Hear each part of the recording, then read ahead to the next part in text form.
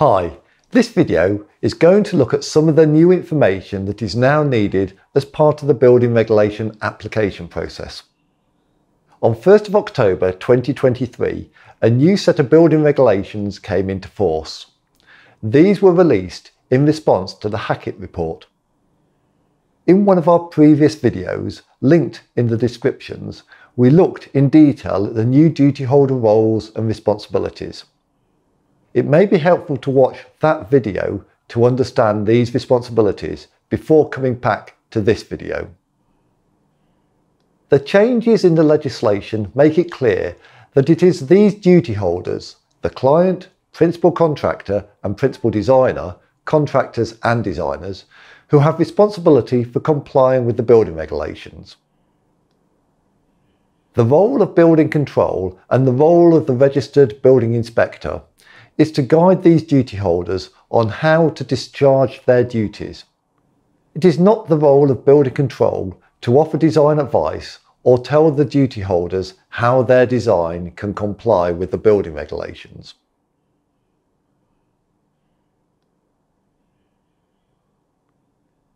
The introduction of duty holders will affect the information that building control bodies will require. In addition to the usual commissioning and pre-completion information, all building control bodies will require a compliance declaration from the three key duty holders for all types of building work. These are the Client Compliance Declaration, Principal Designer Compliance Declaration and the Principal Contractor Compliance Declaration. Compliance declarations should be signed by each person listed above and include the following information. The name, addresses and contact details of each duty holder. A statement by the client confirming that works are completed and that, to the best of the client's knowledge, the works comply with the applicable requirements of the building regulations.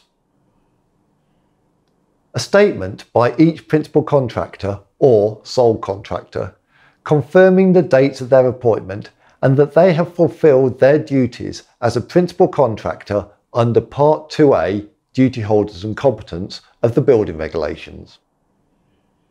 A statement by each principal designer or sole or lead designer confirming the dates of their appointment and that they have fulfilled their duties as a principal designer under the same part of the building regulations. We will require these statements before we undertake our final inspection. We will not be able to issue our final certificate until we have received these statements. The statements must be signed by the duty holders named in the building regulation application or the person named when a notice is issued of a change of duty holder. For non-domestic work, the client may nominate themselves as the principal designer or principal contractor, and they can then sign and issue all three statements if the PC or PD goes out of business or the client has difficulty in getting them to sign it. This could be the case in a dispute or if the principal designer or principal contractor have not been appointed with compliance declarations included and refuse to sign unless an additional fee is paid. The client takeaway is this get your paperwork and appointments in order.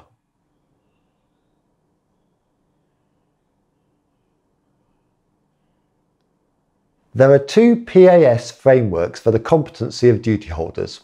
PAS 8671 for principal designers and PAS 8672 for principal contractors. New additional information is required in order to appoint a registered building control approver. This includes the following. Confirmation that the work is not being undertaken on a higher risk building, the height of the top story of the building, the construction phase start date, this is the date at which work starts on site. This should not include site setup, demolition or enabling work. Building regulations commencement. This is the date at which the works achieve a suitable criteria to be considered as commenced.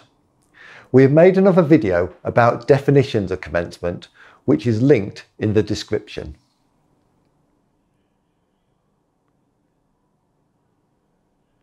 For domestic projects or customers, the lead designer or contractor submitting the application must provide a duty holder notification to the building control body.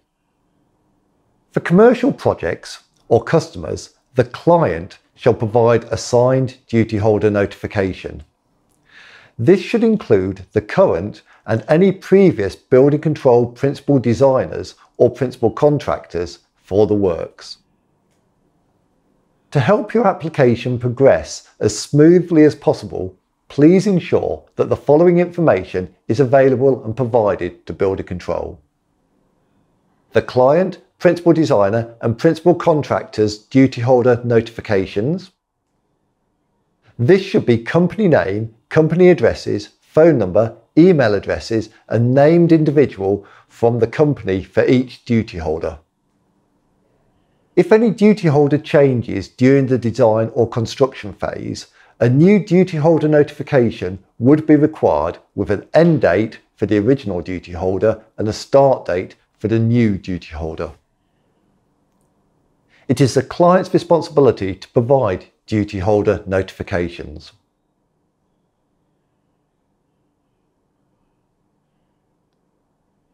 Start date and commencement dates are required before we can accept the application.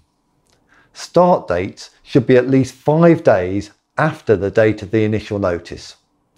The commencement date should be after the start date.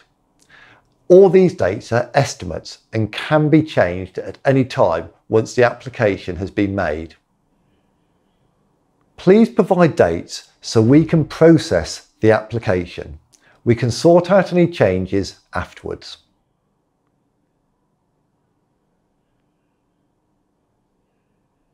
If work does not include construction of a concrete floor slab, we would also need a description of 15% of the works.